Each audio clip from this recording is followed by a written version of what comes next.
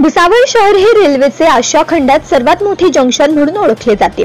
भुसावळच्या railway electric loco shed विभागामध्ये विद्युत engine वॉशिंगसाठी अत्याधुनिक यंत्रणा उभारण्याचे काम सध्या रेल्वे इलेक्ट्रिक लोकोशेड विभागामध्ये सुरू आहे.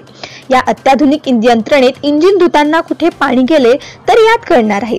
पाणी इंजिनमध्ये शिरल्याने इंजिनमध्ये बिघाड होण्याची शक्यता देखील कमी होणार आहे. लोकोमोटिव्ह कारखान्यामध्ये इंजिन धुण्याच्या संपूर्ण प्रक्रियेस पाच ते सात तास लागत असत.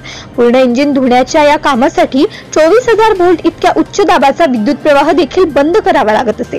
त्यामुळे रेल्वे प्रशासनाचा वेळ व पाण्याची मोठी नासधूस होत असे.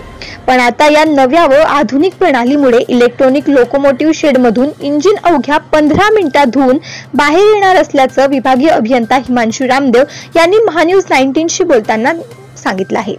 Bureau report, Maha News nineteen Bhusawal. में बारह महीने काम करता है। तो बारिश में जब काम करता है तो इसमें पानी इनग्रेस होने की अगर समस्या आ जाती है तो वो बहुत ही अनसेफ रहती है। तो उसको रोकने के लिए हम अपने लेवल पे उसके वाटर इनग्रेस को चेक करते हैं। तो पहले हम लोग उसको मैनुअली करते थे कि एक आदमी उस पर छत पर चढ़ता था उसमें पानी डालता था और उसकी लीकेजेस को चेक करता था, जो कम से कम तीन चार घंटे लग जाते थे। अब इसमें हमने क्या किया है? पूरे लोगों की लेंथ में लगभग 86 स्प्रिंकलर्स लगा दिए हैं, जो एक फोर्स से उस पर वाटर को स्प्लैश करते हैं। अब आदमी को सिर्फ़ इतना करना है कि 15 मिनट के अंदर ये काम हो जाएगा, सिर्फ़ अंदर जाके देखेगा कि कहीं से लीकेज हो रहा है तो उसको सिर्फ़ अरेस्ट किया जाएगा।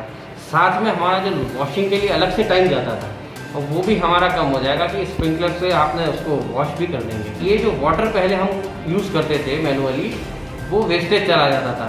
इसमें हमने वाटर रीयूज की एक फैसिलिटी रखी है, जो वाटर हम स्प्रिंकल करते हैं, वो वापस गटर्स के थ्रू हम क्लीन करके उसको फिर से रीवॉश के लिए यूज़ करते हैं। तो लगभग हमारा 90 परसेंट वाटर फिर से रीयूज हो जाता है। तो हमारी वाटर सेविंग भी होती है। और लगभग जो पहले छः घंटे का वर्कलोड था, वो हमारा एक घंटे के अंदर अंदर हो जाता है। इससे हमारा मैन वाटर एंड मटेरियल सब सेव होता है।